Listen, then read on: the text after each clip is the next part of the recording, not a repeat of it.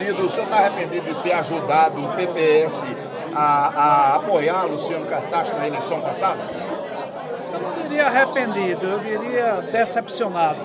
Né?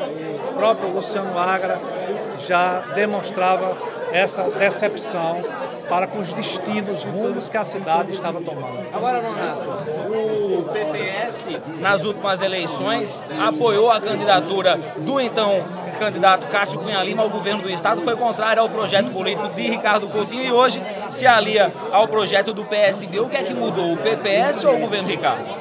se você observar, na eleição de 2014, o próprio prefeito atual foi apoiar o projeto político do PSB, que hoje ele diz que não é um bom projeto, que, criticando o próprio governador.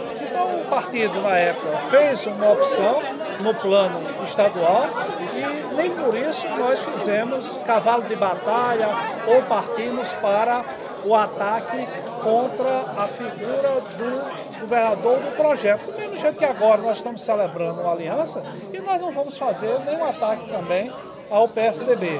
Nós queremos sim fazer a construção e não a desconstrução. O PSDB é bem-vindo O PPS já tem a, a vice hoje. Vai reivindicar agora, nessa composição, a vaga de vice também? Não, eu estou dito, olha, vice, ele não se indica, vice se escolhe. Quem escolhe é a candidata majoritária, será a professora Cida Ramos no momento certo, depois de esgotar as discussões, depois dos partidos colocarem os seus nomes, outras forças da sociedade colocarem, às vezes surge de uma hora um grande nome. Então o PPS não vai fazer nenhum cavalo de batalha, pelo contrário, vai é colaborar para que o nome do vice escolhido pela professora é, Cida Ramos, indicado pelos partidos, seja o nome que agregue. O, o, o PPS não é problema, ele vai ser sim solução para a, a ajudar na escolha do vice.